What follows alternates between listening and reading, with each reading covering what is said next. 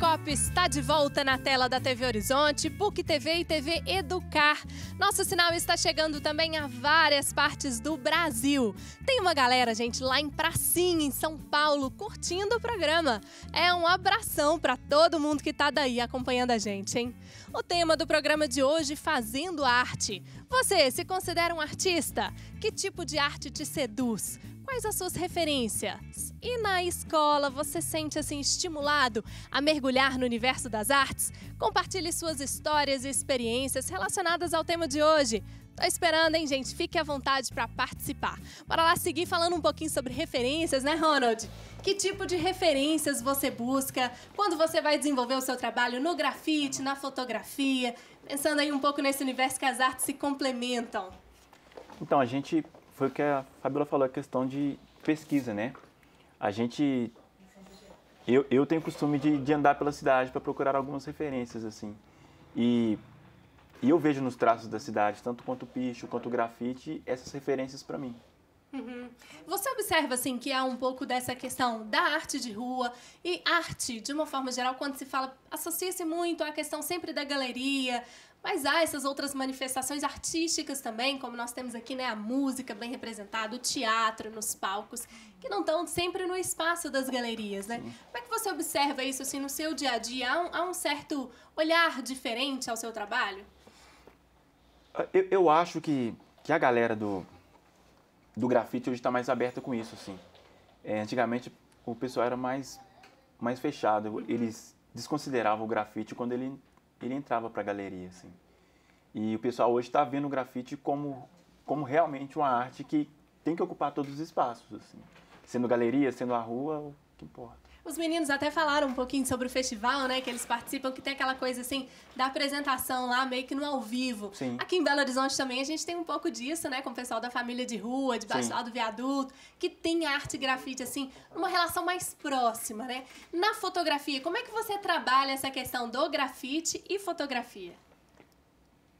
Pois é, assim, eu acho que eu estou me encontrando nisso ainda, né? Mas eu, eu tenho uma referência que, que vem da pintura, que é a, tanto para fotografia quanto para o grafite, que é o Caravaggio, uhum. que é essa questão da luz e sombra. E, e gente, eu tento colocar isso na, nas minhas fotografias, não vou falar eu, porque a gente tem um coletivo de fotógrafos, Sim. que é o Estúdio Beco. E a gente tenta trazer isso para a fotografia também. Legal. Agora, para as meninas aqui que trabalham diretamente também com curadoria, né? Para vocês, imagino que deve ser um desafio enorme, né? Pensar na diversidade de artistas que temos e aí a segmentação, pensar a partir da idade. Amanda, primeiramente eu queria te ouvir assim, como você trabalha numa escola, né, e está lidando com crianças, com jovens desde o início, apresentando um pouco desse universo da arte. O que é mais complicado nesse processo de curadoria, na escolha dessas referências, de onde buscar, de treinar esse olhar? A gente procura trazer sempre referências que tenham a ver com os projetos de série, né, de cada faixa etária, porque assim essas as exposições que a gente faz no colégio ficam mais acessíveis aos alunos e podem ser depois trabalhadas dentro de sala de aula pela professora de arte. Então nós temos lá esse grande facilitador na escola, porque temos três grandes espaços de arte no colégio: o Passo das Artes, o Passinho das Artes e a Sala Portinari. Então a gente monta essas exposições anualmente com calendários que vão desde duração de 15 dias a, a três semanas de exposições e assim os alunos têm a oportunidade de visitar essas exposições, tanto por eles próprios quanto visitas guiadas dos professores e depois trabalhar essas referências em sala de aula com uma maneira mais é, mais didática possível, para ele conseguir é, sugar ali, o máximo dessa exposição e das referências que ele, que ele conseguir. Né? E essa, esses espaços também, eles são abertos né, ao público também, não são. só para os alunos.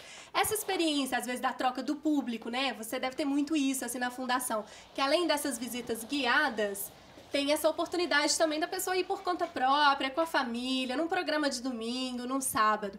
Isso, quando acontece dessa forma assim mais espontânea, né, acaba provocando mais assim um olhar diferente, algo na vontade mesmo. Você observa isso, Fabio? Ah, com certeza. Eu acho que esse público espontâneo que vem buscando atividades, principalmente aos finais de semana, é um público que vem para às vezes passar um tempo maior dentro daquele espaço, é, realizar alguma atividade além do que só é, a, a, contemplação das obras. Então, procura ter, ter esse espaço maior e tem acontecido cada vez mais, assim. Lá, por exemplo, são mais de 20, né, arte educadores que trabalham nessa equipe que você trabalha também. Uhum. É, diretamente, falando um pouquinho sobre essa questão que a Amanda colocou, pensar nessa faixa etária, nesse público jovem, qual é a forma mais fácil e mais educativa para se falar com o jovem a partir de uma exposição? Sim, primeiro é, são os, os, recursos que são utilizados muito pelos jovens, a gente acaba é, absorvendo isso um pouco dentro das propostas de mediação.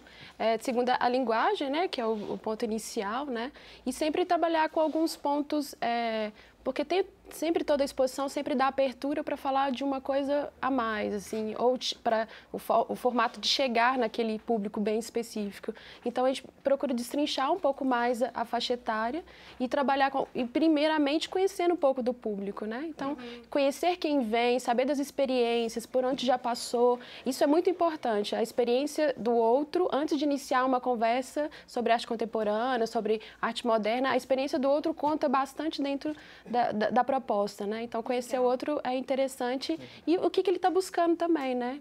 Para que esses diálogos, essas conversas sejam né, mais proveitosas. Quais, assim, você já está lá já tem um tempo, né? Quais exposições marcaram no sentido, assim, de exigir um trabalho intenso, de debruçar mesmo, para tentar traduzir para o público, trazer algo diferente? Quais, assim, foram marcantes para você na sua carreira e para o próprio público, né? Assim... Sim. Eu acho que para o público uma relação muito muito grande, né, com, com o espaço da obra foi a exposição do Escher, né, que é uma exposição que, que trouxe né, bastante público, até porque era uma exposição que propõe interação do público com alguns dispositivos, né. Uhum. Alice é... até balançou a cabeça. Você foi lá, Alice?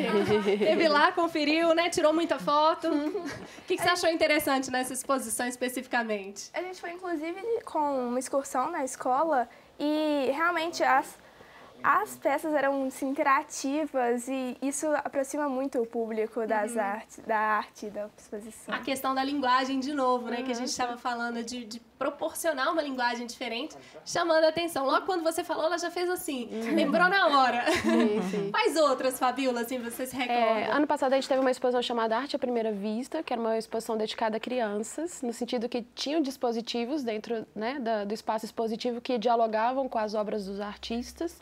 Então, como normalmente as obras né, nunca, quase nunca podem ser tocadas, tem uma interação maior, tinha essa proposta de realizar uma atividade muito próxima. Né? Com esse estímulo dos dispositivos que já, que já foram pensados pelas curadoras, fez com que o educativo trabalhasse e propôs também é, um, um ateliê aberto, onde essas práticas e atividades foram se desdobrando e o público pode participar durante um período né, da, da exposição desse ateliê de experimentação também. Poxa, muito legal. Hum. Alice, para você, falamos um pouquinho sobre né, suas aulas de arte na escola. O que, que você sente assim falta quando se fala em arte na escola? Ainda tem um pouco daquela coisa assim, aula de arte só aula de desenho? Tem um pouco dessa mentalidade ainda. Na sua escola, a prática é diferente. É, na minha escola, tipo, principalmente nesse primeiro semestre, a gente está focado com a, a nossa festa junina, que é a festa da cultura popular brasileira. E cada ano tem um tema. Esse ano, o tema é arte de rua. Uhum. Então, a gente tem um diálogo, bem, bastante diálogo, assim, com outros tipos de arte e cada vez mais isso. Então, a aula de arte para você, assim, né, resumindo, significa mesmo um momento de aprendizado, de trazer coisas novas, uma visão de um novo mundo. O que, que se resume para você sua aula de artes? Além disso que você falou, além de ser um espaço de aprendizado, também é um espaço de experimentação, que você mesmo vai botar na prática e experimentar esses recursos. Legal, boa, né? Não é assim a percepção é assim de aluna, Amanda? Muito legal. Vamos de música então, gente? Vamos animar ainda mais esse programa. Mentol tá aqui hoje no Caleidoscópio, trazendo um som super legal, trabalho autoral, não é isso, meninos? Exato. Essa aí é uma música do nosso próximo EP, do nosso segundo EP, chama Esse Embrulho. Bora lá então.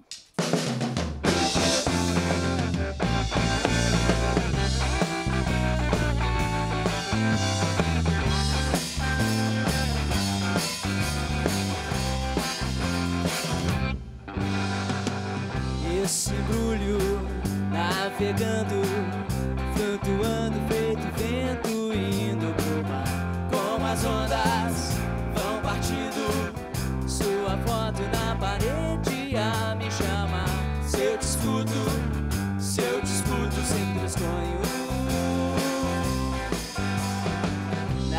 cidade, tô bonito. Cima, baixo, só fazendo amor com você. Na cidade, com você. Nessa foto eu vou seguindo assim sem te ver. E eles chamam,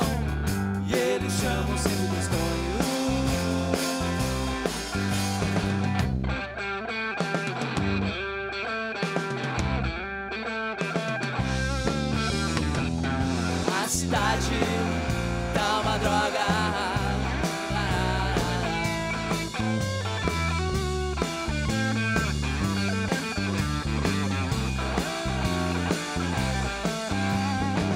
O que você fez comigo, me instigando tanto assim? Tô acabado, tô jogado. Só queria ir pra casa em frente pro mar pra te amar, pra te amar sem dos sonhos. Sei que um dia tô voltando. Tô chegando pra te ver e ser bem feliz. Andar juntos pela rua e beijar de frente a lua como se quis. Vou te amando, só te amando sempre sonhos.